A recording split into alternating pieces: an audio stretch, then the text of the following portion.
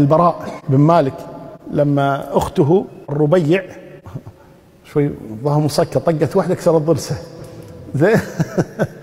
فاشتكت أو اشتكى أولياؤها عند النبي صلى الله عليه وسلم وذا جاية مكسور ضروسها طاقتها الربيع ضربتها.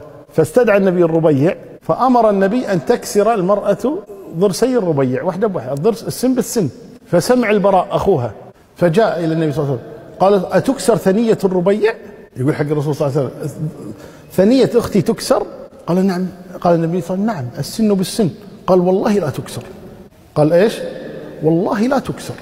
فسكت النبي صلى الله عليه وسلم شوي ولا المرأة مع أهلها قالوا بس هونا ما نبي نكثر فقال النبي صلى الله عليه وسلم رب رجل لو أقسم على الله لأبره ومنهم البراء.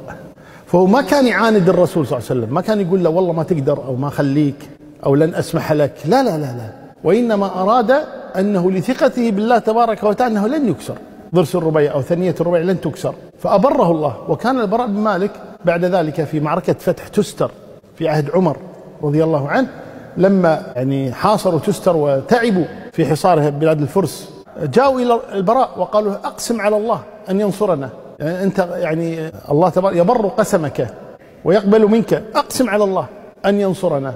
فرفع يديه وقال اللهم إني أقسم عليك أن تنصرنا واجعلني أول شهيد. يبين لك صدق الرجل. ولا لو غيره؟ يا الله إنك تنصرنا بعدين تمشي الناس ترى أنا اللي دعيت أنا اللي كذا. لا لا لا. ناس فيهم صدق مع الله تبارك وتعالى. قال واجعلني أول شهيد. وفعلا استشهد في تلك المعركة رضي الله عنه ونصرهم الله جل وعلا.